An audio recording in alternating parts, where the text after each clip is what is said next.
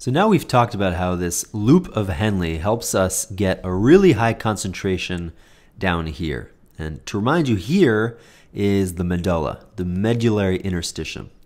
And let's draw our bigger picture of a kidney again to visualize where that is. So if you remember, there were these two parts of the kidney, the outside, which was the cortex, as well as the inside, which was the medulla. And glomeruli were located out here in the cortex, and then the nephron started up here, and you'd have your PCT there, and then the loop of Henle would come down into the medulla, then you'd have your DCT, and then your collecting duct. And so what this loop of Henle is trying to do, as we said, is to increase the concentration here in the medulla. And we talked about that the way that that works is that we're constantly pushing fluid with higher concentration down and letting fluid with lower concentration out. And this movement in opposite directions creates what we call the counter current multiplier.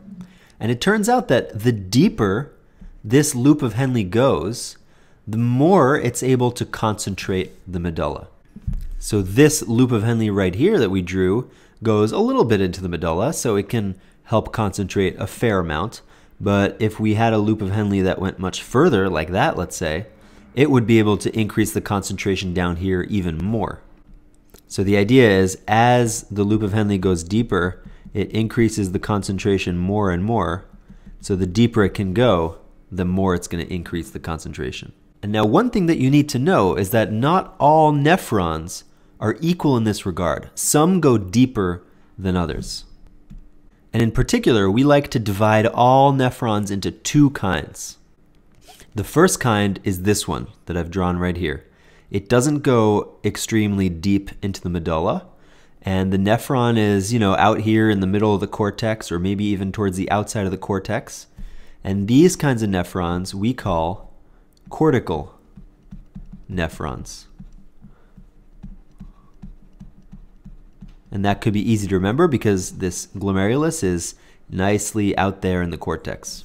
The other kind of nephron, instead of having its glomerulus out here, it has its glomerulus right near the medulla. And so then we have the Bowman space here, the proximal convoluted tubule, and then the loop of Henle dives in and goes really deep. And then you come all the way back out again and get to your collecting duct.